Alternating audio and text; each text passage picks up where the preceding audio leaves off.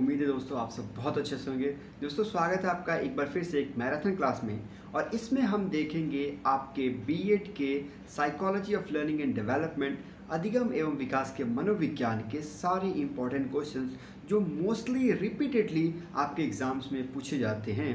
तो हम 20 क्वेश्चंस को आज देखेंगे जो कि हर साल इनमें से प्रश्न पूछे जाते हैं। तो अगर आप इस 20 प्रश्न को देखते हैं तो यकीन माने इस टॉपिक से आपको आपके एग्ज़ाम्स के इस paper psychology of learning and development अधिगम का विकास एवं मनोविज्ञान या फिर बाल विकास एवं मनोविज्ञान में आपको ज़रूर आपके क्वेश्चन मिलेंगे। तो चलिए दोस्तों, इस वीडियो को शुरू करते हैं आपके पहले क्वेश्चन से और आपका पहला प्रश्न है। दोस्तों, ये जो प्रश्न है, कई बार आपसे पूछा गया है और प्रश्न बड़ा आसान है साधारण सा प्रश्न है कि मनोविज्ञान का अर्थ क्या है या फिर मनोविज्ञान से आप क्या समझते हैं? What do you mean by psychology तो चलिए साइकोलॉजी किसे कहते हैं दोस्तों?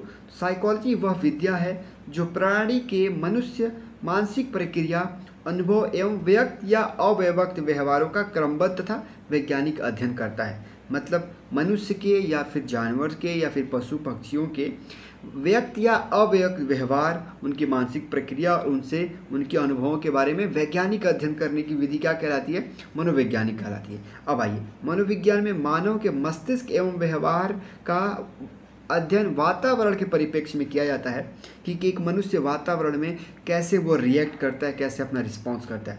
अब मनोविज्ञान एक ऐसा विज्ञान है जो परि परि सॉरी जो प्रेक्षणीय व्यवहार, यानी कि ऑब्जर्वेस ऑब्ज़र्व ऑब्जर्वर बिहेवियर का अध्ययन करता है कि किसी बालक का आप ऑब्जर्वेशन कैसे करते हैं, इस चीज़ का अध्ययन करता है।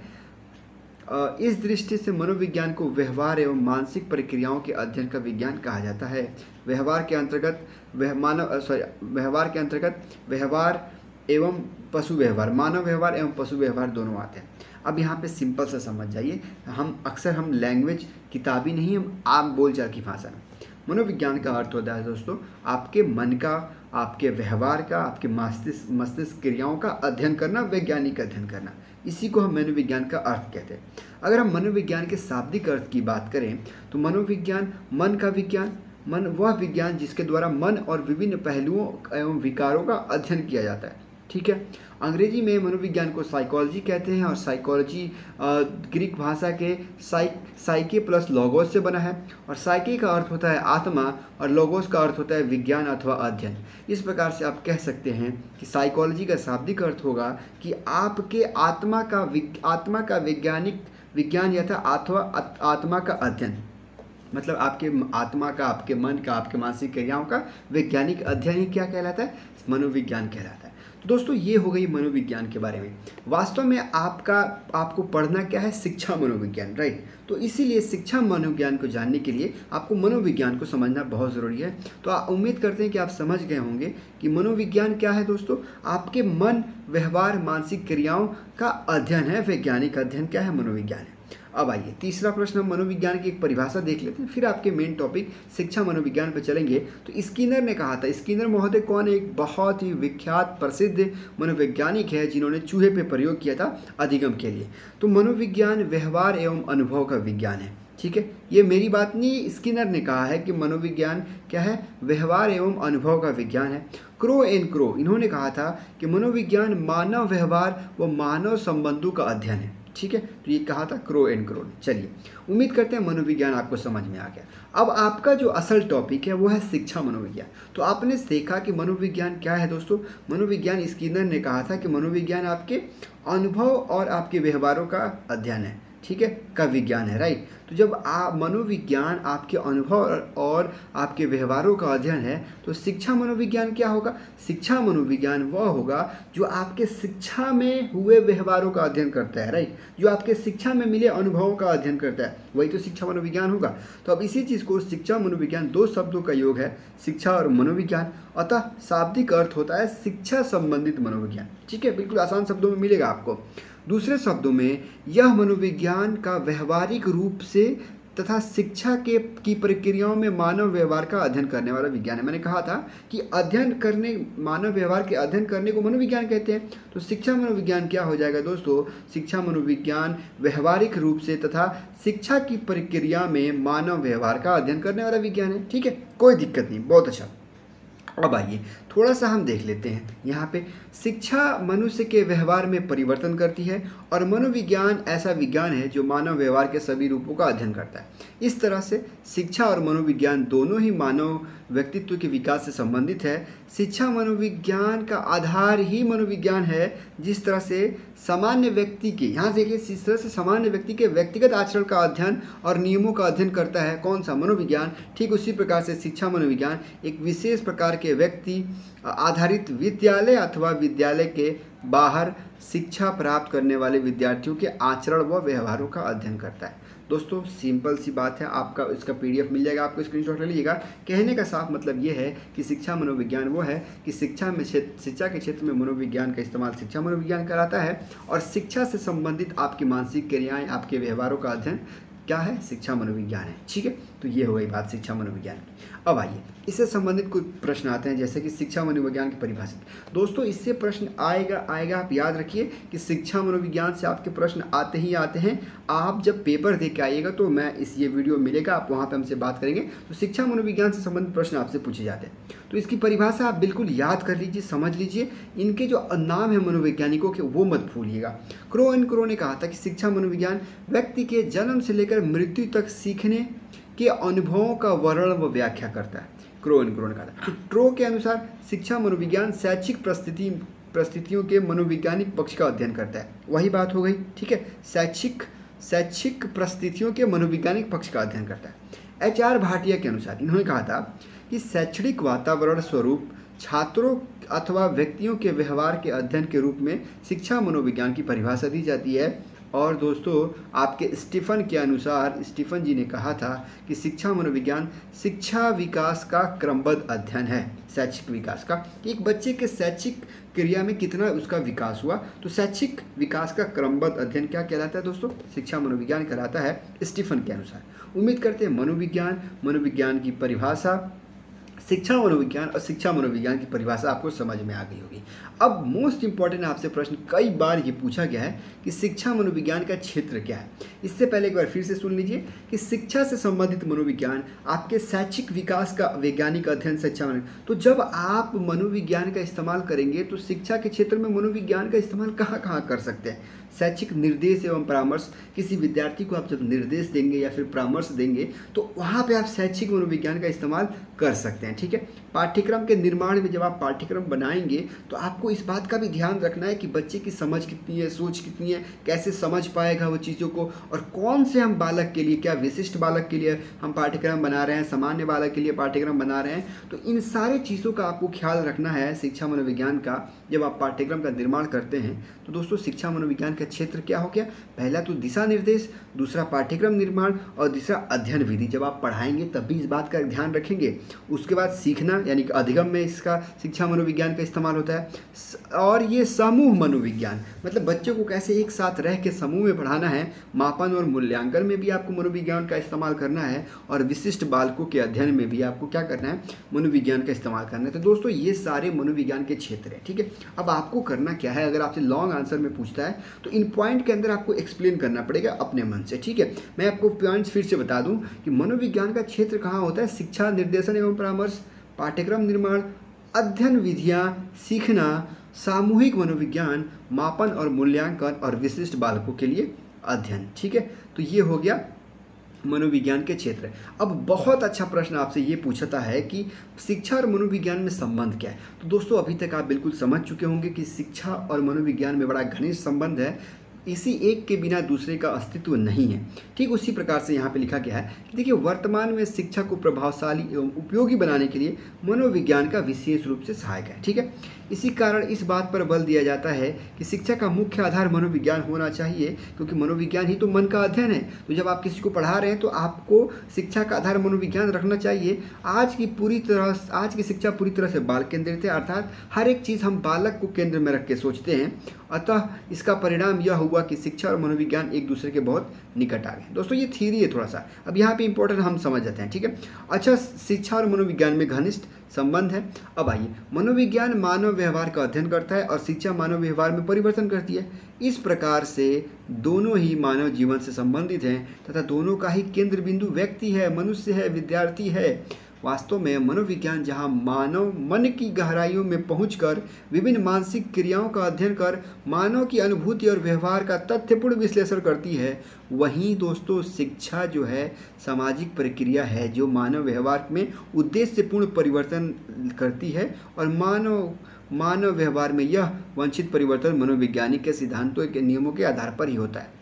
दोस्तों सिंपल सी बात यह है कि शिक्षा क्या है? शिक्षा का आधार ही मनोविज्ञान है दोस्तों, ठीक है? तो ये हो गई शिक्षा और मनोविज्ञान में संबंध। थोड़ा सा और इसको देख लेते हैं दोस्तों कि आज की इस जटिल दुनिया में बगैर मनोविज्ञान की सहायता से शिक्षा प्रदान करना संभव नहीं है।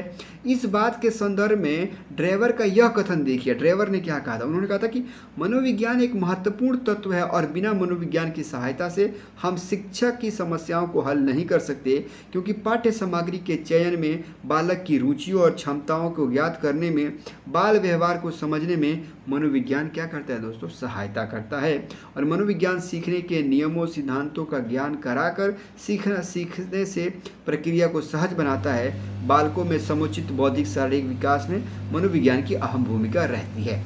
दोस्तों, मनोविज्ञान और शिक्षा में घनिष्ठ संबंध आपको कहने का मतलब ये था। अब आइए। एक बड़ा अच्छा प्रश्न आपसे ये भी कई बार पूछता है कि एक अध्यापक के लिए, एक अध्यापक के लिए मनोविज्ञान की क्या उपयोगिता है? मतलब या फिर आपको इस, ऐसे भी समझ सकते हैं कि एक अध्यापक के लिए मनोविज्ञान का क्या महत्व है? तो देखिए, शिक्षा मनोविज्ञान, शिक्षा संबंधित समस्याओं का विवेचना, विश्लेषण और समाधान प्रस्तुत करता है। इसलिए शिक्षा प्रक्रिया में संलग्न व्यक्तियों के लिए शिक्षा मनोविज्ञान का अध्ययन बहुत आवश्यक है। अच्छा शिक्षा प्रक्रिया में संलग्न व्यक्ति में सबसे प्रमुख कौन है? अध्यापक ही तो है। तो अध्यापक कक्षा में चलने वाली वास्तविक शिक्षा प्रक्रिया का निर्देशक होता है, जो अध्यापक कहता है, वही होता है। वह छात्रों के सम्मुख सीखने की परिस्थितियों को प्रस्तुत करता है, उनके शैक्षिक विकास का मार्ग प्रदर्शित करता है। अतः किसी अध्यापक के लिए शिक्षा मनोविज्ञान का ज्ञान अत्य आवश्यक महत्वपूर्ण व उपयोगी है। चलिए, समझ में आ गई? अब आइए। शिक्षा मनोविज्ञान के ज्ञान के अभाव में कोई अध्यापक अपने कार्य को कुशलतापूर्वक संपादित नहीं कर सकता है। आधुनिक समय में शिक्षा मनोविज्ञान ज्ञान ही अध्यापक की सफलता का रहस्य होता है। अपने शिक्षण कार्य को सफल बनाने के लिए, छात्रों को सीख, सीखने को सरल बनाने के लिए, सहज व आनंदमय बनाने के लिए अध्यापक को क्या होना चाहिए दोस्तों? मनोवैज्ञानिक सिद्धांतों का उपयोग करना चाहिए। तो इसीलिए क्या है? मनोविज्ञान आपके लिए बहुत ज़रूरी है। अगर आप पॉइंट वाइज बात करें कि कुछ हम पॉइंट वाइज लिखना चाहते हैं तो देखिए, शिक्षा मनोविज्ञान अध्यापक को साध्य दृष्टिकोण मतलब राइट पर्सपेक्टिव देता है चीज़ों को समझने के लिए। शिक्षा मनोविज्ञान कक्षा में उपयुक्त शैक्षिक वातावरण उत्पन्न करता है, ठीक है? और अगर अलग पॉइंट की बात करें तो शिक्षा मनोविज्ञान अध्यापक को छात्रों के प्रति प्रेम, सहानुभूति, समदर्शी व्यवहार को अपनाने में सहायता करता है और शिक्षा मनोविज्ञान अध्यापक के श्रेष्ठ विधियों की जानकारी देता है। और शिक्षा मनोविज्ञान अध्यापक को बाल स्वभाव तथा व्यवहार ज्ञान से परिचित कराता है। ठीक है? तो ये हो गया दोस्तों कुछ पॉइंट्स वाइज करके शिक्षा मनोविज्ञान अध्यापक के लिए क्यों आवश्यक हैं, हमने यहाँ पे लिखा है। ठीक है? आइए कुछ और देखते हैं। जैसे शिक्षा, मनोविज्ञान, शिक्षा के क्षेत्र में व्यक्तिगत विभिन्नता को ध्यान में रख के बात करता है, क्योंकि क्लासरूम में पढ़ने वाले सारे बच्चे एक समान नहीं होते, इसीलिए शिक्षा, मनोविज्ञान से अध्ययन से हम समझ सकते हैं कि बच्चों में थोड़ी सी व्यक्तिगत विभिन्नता है इंडिविजुअल डिफरेंस है शिक्षा मनोविज्ञान अनुशासन बनाए रखने में मनोवैज्ञानिक तरीके की जानकारी देता है और शिक्षा मनोविज्ञान पाठ्य निर्माण करने में सहायता करता है। तो चलिए, ये तो बात हो गई शिक्षा के लिए मनोविज्ञान की उपयोगिता। अगर मान लीजिए केवल आपसे प्रश्न ये पूछते कि शिक्षा मनोविज्ञान की उपयोगिता क्या है या शिक्षा मनोविज्ञान की महत्व क्या है तो बिल्कुल इन्हीं पॉइंट्स को आप लिखिएगा, ठीक है? कि शिक्षा मनोविज्ञान का महत्व ये है कि शिक्षा मनोविज्ञान शिक्षक को एक राइट परस्पेक्टिव सामयिक दृष्टिकोण प्रदान करता है, ठीक है? तो शिक्षा के, मनोविज्ञान के महत्व के बारे में भी आप इसी बिंदुओं को लिखेंगे। चलिए दोस्तों, बहुत सही, बहुत अच्छा। दसवां प्रश्न देखेंगे। दसवां प्रश्न बड़ा इंपॉर्टेंट है। शिक्षा, मनोविज्ञान की प्रयोगात्मक विधि। प्रयोगात्मक विधि का मतलब एक्सपेरिमेंटल मेथड अब आइए मैं आपसे एक बात कहना चाहता हूँ। स्किनर ने चूहे पे क्या किया था? प्रयोग किया था। थॉर्नडाइक ने बिल्ली पे क्या किया था? प्रयोग किया था। पावला ने कुत्ते पे क्या किया था? प्रयोग किया था। और कोहलर बग ने चिंपैंजी पे क्या किया था? प्रयोग किया था। जीन पियाजा ने अपने बच्चों पे क्या किया था? प्रयोग किया था। इन्हीं सारे प्रयोग से हुआ क्या? हमें प्राप्त चला कुछ सिद्धांत निकले, कुछ ज्ञान निकले। हमने बच्चों के व्यवहारों का अध्ययन किया। हमने सीखने की प्रक्रिया का अध्ययन किया तो मनोविज्ञान में प्रयोगात्मक विधि का क्या महत्व है? मनोविज्ञान में प्रयोगात्मक विधि का महत्व यह है कि हमें सच्ची और अच्छी ज्ञान मिल जाती है और वैज्ञानिक तौर पर प्रयोगात्मक तरीके से प्रूफ की हुई एक स्पष्ट ज्ञान हमें मिल जाता है, ठीक है? एक विधि मिल जाती है। अब प्रयोगात्मक विधि के बारे में अगर पूछ दे कि शिक्षा मनोविज्ञान में प्रयोगात्मक विधि क्या होता है? तो शिक्षा मनोविज्ञान में प्रयोगात्मक विधि सबसे अधिक महत्वपूर्ण विधि मानी जाती है। प्रयोगात्मक विधि में शिक्षक या प्रयोगकर्ता छात्रों के व्यवहारों का अध्ययन एक नियंत्रित परिस्थिति में कंट्रोल्ड सिचुएशन में करता है, ठीक है? अच्छा इससे प्राप्त निष्कर्ष क्या होंगे भाई? वस्तुनिष्ठ होंगे, विश्वसनीय होंगे तथा वैध होंगे। क्यों? क्योंकि ये प्रयोग के द्वारा प्राप्त किए गए इस विधि से कार्य कारण संबंध स्थापित किया जाता है कि बच्चों, जो आप प्रयोग कर रहे हैं और जो बच्चों के अंदर एक संबंध स्थापित किया जाता है और दोस्तों प्रयोगात्मक विधि में परिस्थितियों को नियंत्रित करके व्यवहारों का अवलोकन किया जाता है। अतएव प्रयोगात्मक विधि को नियंत्रित अवलोकन विधि भी कहते हैं, क्योंकि देखिए, मनोविज्ञान में जब प्रयोगात्मक विधि हम प्रयोग करते हैं तो उसका कंट्रोल्ड होना बड़ा ज़रूरी है, ठीक है?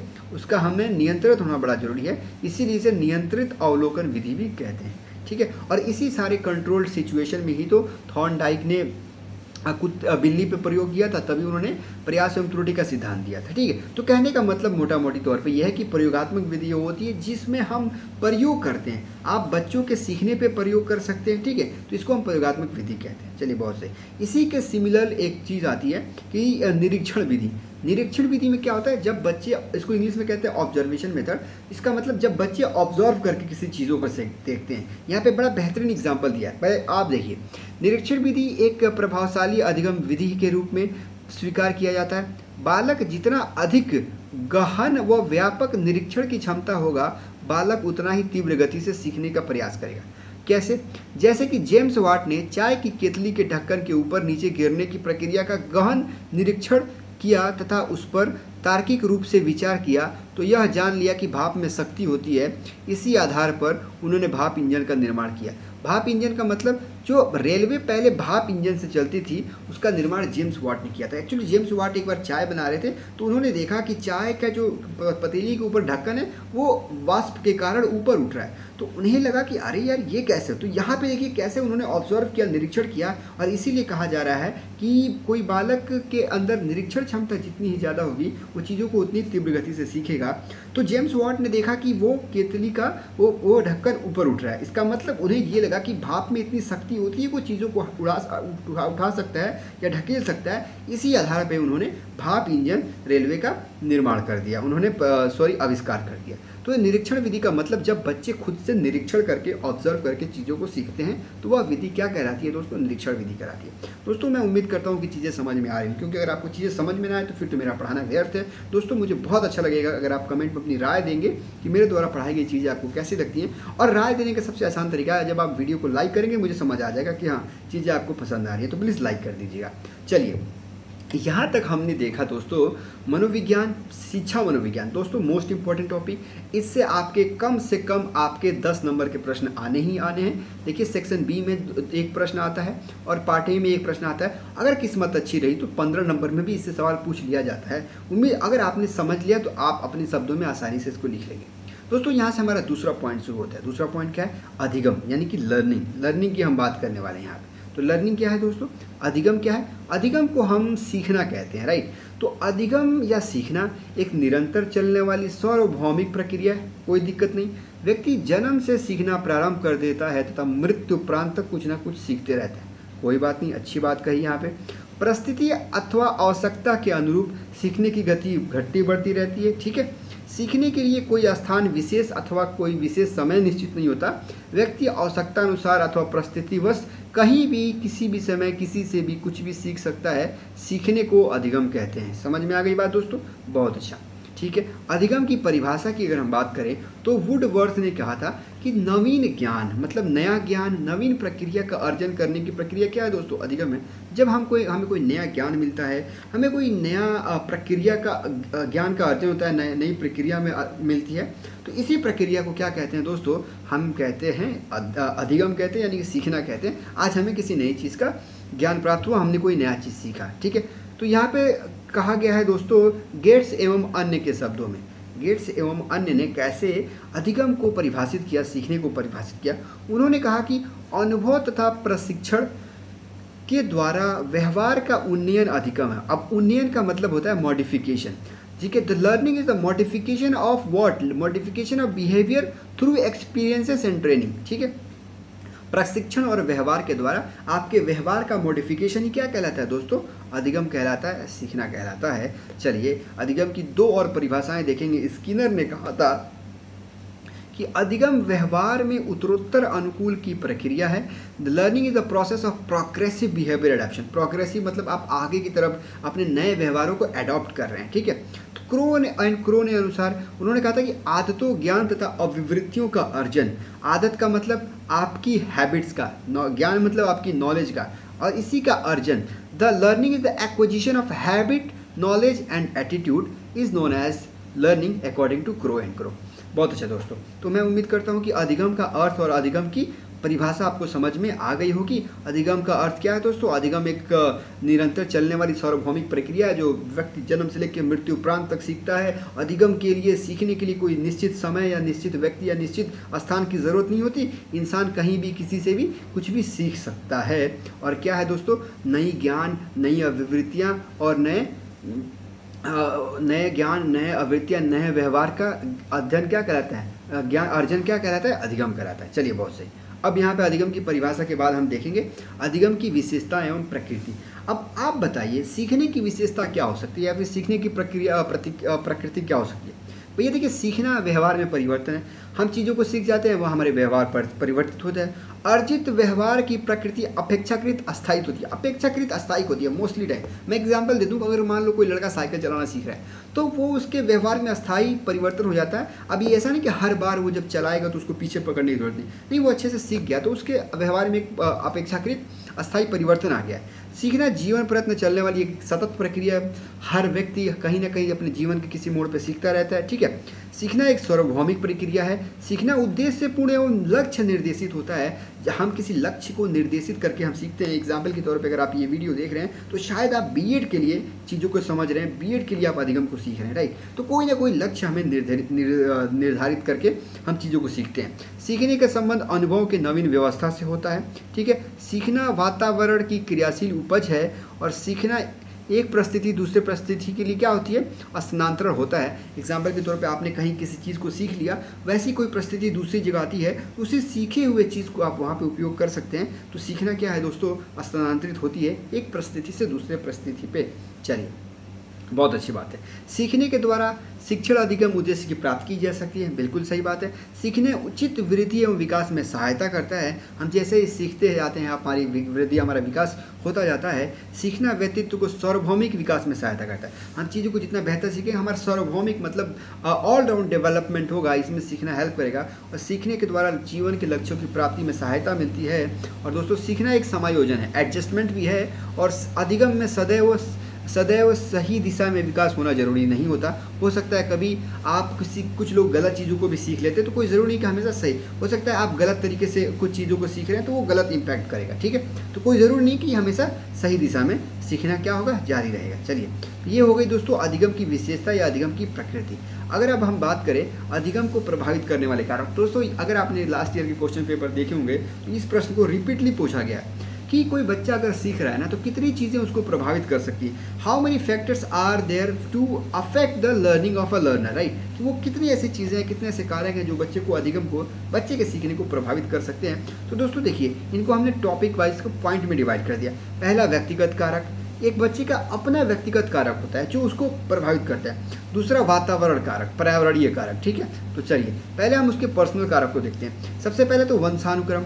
ठीक है, वंशानुक्रम भी व्यक्ति की क्या करता है, सीखने को प्रभावित करता है, कौशल और योग्यता, अधिगम का उद्देश्य उसका उद्देश्य क्या है, किस उद्देश्य से सीख रहा है। स्व अनुशासन, परिपक्वता कितना परिपक्व है सेल्फ इंटरेस्ट खुद की खुद की रुचि भी होनी चाहिए। अगर रुचि नहीं हुआ तो नहीं सीख पाएगा तो ये सारी चीज़ें उसकी क्या करती है प्रभावित करती हैं, और उसका स्वास्थ्य दोस्तों, अगर स्वस्थ नहीं है तो वो चीज़ों को सही नहीं समझ पाएगा। तो पर्सनल कारक में आपने पॉइंट्स देखा जो उसके पर्सनल कारक की अनुवांश वंशानुक्रम, कौशल, योग्यता, अधिगम का उद्देश्य स्व अनुशासन, परिपक्वता, रुचि और स्वास्थ्य, ये उसके पर्सनल कारक हैं जो उसको प्रभावित करते हैं। अगर हम बात करें पर्यावरणीय कारक की तो पर्यावरणीय कारक को भी हम फर्दर दो पार्ट में डिवाइड सकते हैं। एक उसके घर का माहौल, एक उसका दोस्तों स्कूल का माहौल, ठीक है? तो अगर हम घर के माहौल की बात करें तो उसके अभिभावक की भूमिका, ये भी उसके सीखने को प्रभावित कर सकती है। वो किस समुदाय या किस समाज में रहता है और उसका आर्थिक स्थिति क्या है इकोनॉमिकल उसका फाइनेंशियली उसका कंडीशन क्या है ये भी चीज़ों को प्रभावित करता है। अगर हम स्कूल विद्यालय की बात करें तो फ़िज़िकल इन्वायरमेंट मतलब स्कूल कहाँ पे स्थित है, स्कूल के रूम कैसे हैं, स्कूल के आसपास का वातावरण कैसा है तो ये चीज़ें क्या करती हैं दोस्तों, एक सीखने वाले को प्रभावित करती हैं, और एक टीचर का एप्टीट्यूड उसकी योग्यता कितनी है, जो चीज़ें सिखा रहे हैं वो कैसे हैं रिवॉर्ड एंड पनिशमेंट पुरस्कार और दंड मोटिवेशन और टीचिंग स्किल्स या टीचिंग मेथड कि बच्चे को जब पढ़ाया जा रहा है तो किस मेथड से, किस स्किल से पढ़ाया जा रहा है, ये भी चीज़ें क्या करती हैं दोस्तों सीखने को अधिगम को प्रभावित करती है। दोस्तों, मनोविज्ञान, शिक्षा मनोविज्ञान और अधिगम, तीन पॉइंट आपका कवर अप हो गया और यकीन मानिए पंद्रह बीस नंबर का आपने काम कर दिया, ठीक है? एक लास्ट पॉइंट देखेंगे, फिर उसके बाद इस वीडियो को ख़त्म करेंगे। अभी पढ़ना बहुत कुछ है, लेकिन वीडियो लंबी ना हो। लंबी होने से आपको भी थोड़ी सी प्रॉब्लम होगी अब वो कनेक्शन नहीं बन पाएगा। और बीच बीच में रेस्ट करना आपके लिए भी ज़रूरी है, मेरे लिए भी ज़रूरी है। तो हम एक लास्ट पॉइंट और देखेंगे, वो है अभिप्रेरणा, यानी कि मोटिवेशन ठीक है? फिर इस वीडियो को हम ख़त्म करेंगे। चलिए। बहुत अच्छा दोस्तों, अगर अभी तक आप देख रहे हैं तो मुझे अच्छा लग रहा है कि आप जुड़े हुए इस वीडियो से। बहुत बहुत शुक्रिया, आप सभी का शुक्रिया जो लोग यहाँ से जुड़े हुए हैं। अभी प्रेरणा का मतलब क्या होता है? मोटिवेशन अक्सर लोग मोटिवेशन स्पीकर की बात करें तो आपके बेस्ट मोटिवेशनल स्पीकर कौन है? अगर मैं अपनी बात करूँ बेस्ट मोटिवेशनल स्पीकर तो मैं बचपन में सुना करता था संदीप महेश्वर जी की। बहुत अच्छे मोटिवेटर हैं, बहुत अच्छा मोटिवेट करते हैं। लेकिन अब मुझे लगता है कि आपको मोटिवेट होने के लिए खुद का इंटरेस्ट ज़्यादा ज़रूरी है। खुद का अपना टारगेट खुद का अपना लक्ष्य बहुत ज़रूरी है। तो मैं बचपन में महेश्वरी जी को सुनता था, लेकिन अब मुझे लगता है कि जो मेरा लक्ष्य है, मेरा टारगेट है, वही मेरे लिए मोटिवेशन है कि मुझे उसे पाना है। चलिए तो अभी प्रेरणा क्या है दोस्तों? मोटिवेशन है, ठीक है? इसको अंग्रेज़ी में मोटिवेशन कहते हैं। और इसका ये इसकी उत्पत्ति कहाँ हुई है? लैटिन भाषा के मोटम या मूवियर शब्द से हुई है, जिसका अर्थ होता है टू मूव अर्थात आगे गति प्रदान करना। मोटिवेशन का उत्पत्ति लैटिन भाषा के मॉटम से हुई है। इसका मतलब होता है कि आगे की तरफ़ बढ़ना, आगे की तरफ़ गति प्रदान करना। तो अभिप्रेरणा का तात्पर्य है मोटिवेशन का तात्पर्य है कि आंतरिक शक्ति से जो किसी विशेष परिस्थिति में व्यक्ति को अपने लक्ष्य तक पहुँचने के लिए क्रियाशील रखती है। उसको जारी रखती है। दूसरे शब्दों में हम कहें तो अभिप्रेरणा एक आंतरिक शक्ति है, जो व्यक्ति को कार्य करने के लिए प्रेरित करती है, ठीक है? अभिप्रेरणा क्या है? एक आपकी आंतरिक शक्ति है, जो आपको कार्य करने के लिए, कार्य जारी रखने के लिए, कार्य को शुरू करने के लिए अभिप्रेरित करती है, प्रेरित करती है, आपको ऊर्जा देती है, ठीक है? ये एक आंतरिक शक्ति है। तो ये हो गई बात अभिप्रेरणा की। अभिप्रेरणा की अगर हम परिभाषा की बात करें तो अभिप्रेरणा की परिभाषा भी बिल्कुल ऐसे ही मिला होगा। स्कर्नर ने कहा था कि अभिप्रेरणा सीखने का सर्वोत्तम राजमार्ग है। मतलब वह राजमार्ग जिस पर चलकर आप किसी चीज़ों को सीख सकते हैं, उसका बेस्ट तरीका क्या है कि अधिगम सॉरी अभिप्रेरणा मोटिवेशन मोटिवेशन आपको खुद से भी मोटिवेशन होता है। अब ये मोटिवेशन के प्रकार में देखेंगे। गुड ने कहा था गुड ने कहा था कि अभिप्रेरणा कार्य को आरंभ करने, निरंतरित करने और जारी रखने की प्रक्रिया है। ठीक है? गुड गुड ने बहुत गुड डेफिनेशन दिया। गुड वेरी गुड चलिए। अब हम बात करें तो मैकडूगल के अनुसार। मैकडूगल ने कहा था कि अभिप्रेरणा, वे शारीरिक और मनोवैज्ञानिक दशाएँ हैं जो किसी कार्य को करने के लिए प्रेरित करती हैं। आपने देखा पूरी परिभाषा में आपको बस यही बात बताया जा रहा है कि आपको प्रेरित करती है, प्रेरित करती है। तो चलिए अपना नाम लिख के परिभाषा लिख दीजिएगा कि अभिप्रेरणा वो आंतरिक शक्ति है जो किसी कार्य को जारी रखने, नियंत्रित रखने और उसको पूरा करने के लिए क्या करती है? आपको प्रेरित करती है। बस हो गया। अभिप्रेरणा वही ऊर्जा है, वही शक्ति है जो किसी कार्य को जारी रखने के लिए, आपके लक्ष्य को प्राप्त करने के लिए प्रेरित करती है मोटिवेट करती है। समझ आ गई बात दोस्तों? बहुत अच्छा। चलिए। अभिप्रेरणा के मुख्य घटक। कई बार दोस्तों ने मुझसे टेलीग्राम में भी पूछा है कि अभिप्रेरणा के मुख्य घटक के बारे में बताइए। तो अभिप्रेरणा के तीन मुख्य घटक हैं। पहला क्या? एक्टिवेशंस सक्रियण। दूसरा है दोस्तों प्रेसिस्टेंस यानी कि दृढ़ता, तीसरा तीव्रता। अगर हम बात करें एक्टिवेशन किसी चीज़ को एक्टिव करना, किसी चीज़ को शुरुआत करना, किसी चीज़ की बिगनिंग करना, अभिप्रेरणा का पहला घटक यह है किसी चीज़ को शुरुआत कर देना, यानी कि प्रक्रिया की शुरुआत। अब इसके अंदर आप थोड़ी सी व्याख्या करेंगे। दृढ़ प्रेजेंस मतलब किसी चीज़ को जारी रखना। आपने शुरुआत तो कर दिया, लेकिन आपकी प्रेरणा का ये भी घटक है अभिप्रेरणा मोटिवेशन आपको कोई चीज़ों को स्टार्ट करता है, फिर आपको उस चीज़ को जारी रखना है और फिर उसको और बल देना है, तीव्रता से उस पर अपनी ऊर्जा लगानी है, प्रयास, ऊर्जा, बल और भावनाओं की मात्रा को बढ़ाना है, तब जाके आप एक अभिप्रेरणा के सारे घटकों का उपयोग कर पाएँगे। तो अभिप्रेरणा के तीन प्रमुख घटकों में क्या है दोस्तों? प्रक्रिया की शुरुआत और सक्रिय प्रक्रिया को जारी रखना, प्रयास एवं ऊर्जा, बल और भावनाओं की मात्रा देना, अपना पूर्ण, संपूर्ण इंटेंसिटी तीव्रता उसमें लगाना। तो ये हो गई दोस्तों अभिप्रेरणा के प्रमुख घटक। अब हम बात करते हैं अभिप्रेरणा के प्रकार के बारे में। तो अभिप्रेरणा के दो प्रकार होते हैं, बाह्य अभिप्रेरणा और आंतरिक अभिप्रेरणा। बाह्य अभिप्रेरणा का मतलब जैसे मान लीजिए मैं एग्जांपल दे दूँ, कि अगर आप कोई चीज़ करते हैं, किसी बच्चे को कह दिया कि तुम अगर आप दस में दस लाओगे तो मैं तुम्हें एक चॉकलेट दूँगा। तो वो बच्चा उस चॉकलेट के लिए मेहनत कर रहा है, वो मोटिवेट है उस चीज़ को करने के लिए क्योंकि उसको चॉकलेट चाहिए। तो ये मोटिवेशन उसको बाहर से मिला।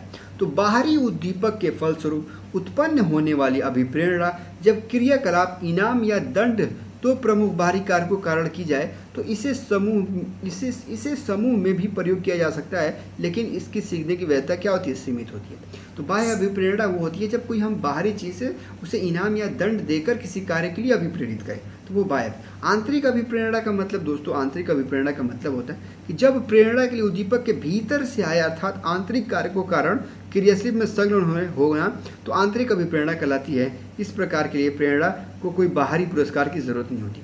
अब मैं यहाँ पे एक एग्ज़ाम्पल देना चाहता हूँ, दोस्तों। मैं ये वीडियोज़ बनाता हूँ तो इस वीडियो के बनाने के बाद आप ट्रस्ट में मेरी अगर बात करें ना तो मुझे बहुत अच्छा लगता है। ये मतलब मेरी खुद की रुचि है। ये मेरा खुद का इंटरेस्ट है। मैं खुद से मोटिवेट होता हूँ कि मैं वीडियोस बनाऊँ, क्योंकि मुझे अच्छा लगता है कि एक चीज़, एक आपको ज़रिया मिलता है, एक सोर्स मिलता है, एक वीडियो मिलता है, जहाँ पे आप चीज़ों को समझते हैं और सारे लोग इतने लोग धीरे धीरे जुड़े हैं तो आपसे आपकी उम्मीदें हमसे जुड़ी हैं। तो उस पर मैं काम करता हूँ, ठीक है? कोई बाहरी चीज़ के लिए नहीं कि मुझे चाहे लाइक सब्सक्राइब आपने पूरे वीडियो में देखा, मैंने कहीं नहीं कहा होगा कि आप मेरे चैनल को सब्सक्राइब करें। मैंने कहा, जब वीडियो अच्छी लगी तो लाइक कर दे, ठीक है? तो मेरे लिए प्राइमरी क्या है कि मेरा सेल्फ इंटरेस्ट तो जब आपकी कोई प्रेरणा कोई मोटिवेशन आपकी आंतरिक क्रिया से उत्पन्न होती है, आपकी रुचि के लिए वो करते हैं तो वो क्या होता है दोस्तों? आंतरिक अभिप्रेरणा। लेकिन जब आप कोई बाह्य इनाम या दंड प्राप्त करने के लिए आप चीज़ों को करते हैं तो वो क्या होता है दोस्तों?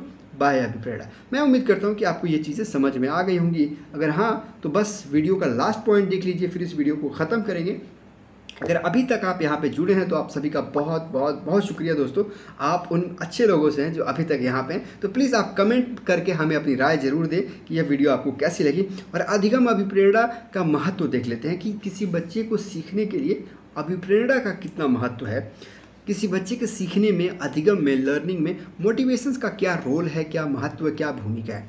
तो देखिए, सबसे पहले जब हम बच्चा अधिगम के लिए अभिप्रेरित होता है तो उसके अंदर एक उत्सुकता जगती है मतलब इच्छा जगती है क्यूरियासिटी उसके अंदर जगती है। शक्ति का संचालन होता है निरंतर उस चीज़ को जारी रखता है, लक्ष्य की प्राप्ति से बेचैनी दूर होना मतलब आराम से उस चीज़ों को मन लगा के काम करेगा, लक्ष्य को प्राप्त करेगा, और अपना ध्यान केंद्रित होना। तो दोस्तों, अधिगम में क्या है, ये अभिप्रेरणा का महत्व है कि मोटिवेशन उन्हें ये सारी चीज़ें प्रदान करती हैं, उत्सुकता, शक्ति, संचालन निरंतर लक्ष्य प्राप्ति से बेचैनी से दूर होना और ध्यान केंद्रित करना। तो ये दोस्तों क्या होता है, अधिगम को प्राप्त करने के लिए ये उसके महत्व हैं अभिप्रेरणा के।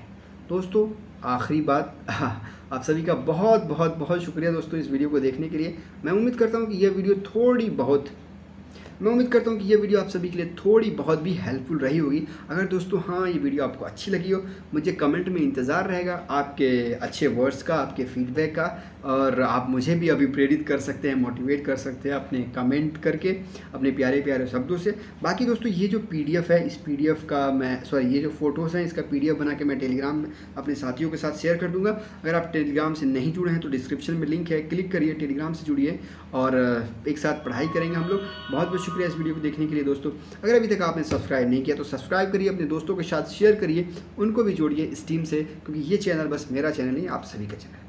तो बहुत बहुत शुक्रिया दोस्तों। पार्ट टू इसकी आएगी, और पार्ट टू में हम और चीज़ों को देखेंगे, जैसे कि थॉन डाइक पावलव स्किनर इन्होंने कैसे प्रयोग किए, क्या सिद्धांत दिए, इन सारी चीज़ों को देखेंगे। और अन्य भी चीज़ें हम, जैसे कि इसमें हमारा बुद्धि रह गया है, बुद्धि विकास रह गया तो इन सारी चीज़ों, विकास की अवस्थाएँ रह गई। इन सारे पॉइंट्स को भी हम अगले वीडियो में कवर करेंगे। फ़िलहाल इस वीडियो में इतना ही दोस्तों। मेरी मैं उम्मीद करता हूँ कि आपको ये वीडियो अच्छी लगी हो। कमेंट में अपनी राय ज़रूर दे दोस्तों। लाइक कर दीजिए। आपके लाइक से मुझे पता चलेगा कि ये वीडियो आपको कितना पसंद है बहुत बहुत शुक्रिया। जय हिंद, जय भारत। दोस्तों, अपना खूब ख्याल रखिए, बढ़ते रहिए। जय हिंद।